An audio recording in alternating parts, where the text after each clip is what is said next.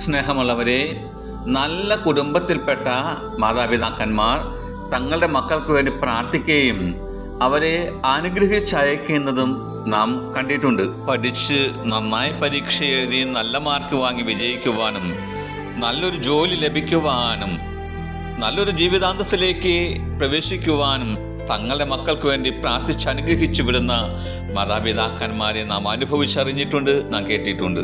തന്റെ ഭൂമിയിലെ ദൗത്യം പൂർത്തിയാക്കി പിതാവിന്റെ അടുത്തേക്ക് പോകാൻ സമയമായപ്പോൾ യശുനാഥൻ തന്റെ പ്രിയ ശിഷ്യന്മാർക്ക് വേണ്ടി പ്രാർത്ഥിക്കുകയാണ്.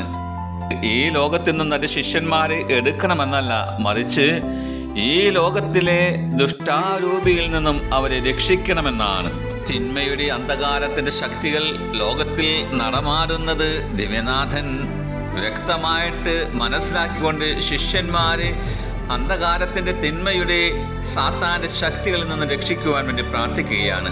തന്റെ പന്ത്രണ്ട് പ്രിയപ്പെട്ട ശിഷ്യന്മാർക്ക് വേണ്ടി യേശു തമ്പുരാൻ പ്രാർത്ഥിച്ചതുപോലെ മാമോദീസ സ്വീകരിച്ച ക്രിസ്തുവിന്റെ അനുയായികളായ നമുക്ക് ഓരോരുത്തർക്കും വേണ്ടി നാദം പ്രാർത്ഥിക്കുകയാണ്.